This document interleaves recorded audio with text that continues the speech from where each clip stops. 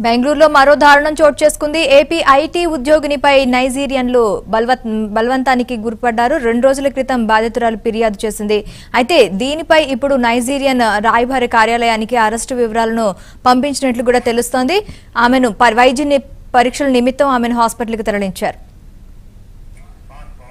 దీనిపై మరింత సమాచారం మా ప్రతినిధి పవన్ అందిస్తారు. పవన్!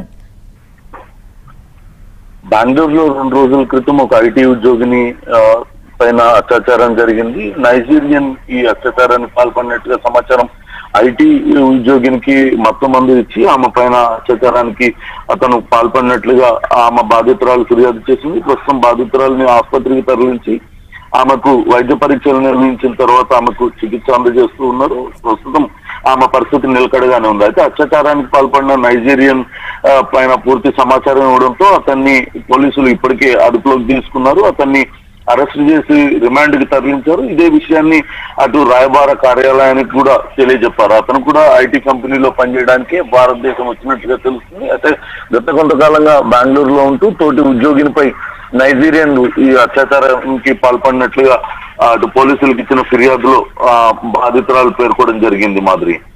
Thank you Pawan